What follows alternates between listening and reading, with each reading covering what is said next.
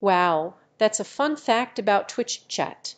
It's amazing to think about the number of characters that exist and the different combinations they can create. However, it's important to use the chat responsibly and not spam the same message repeatedly. Spamming can disrupt others' experience and make it difficult for meaningful conversations to happen. So let's make sure we use Twitch chat in a considerate way and respect others' interactions.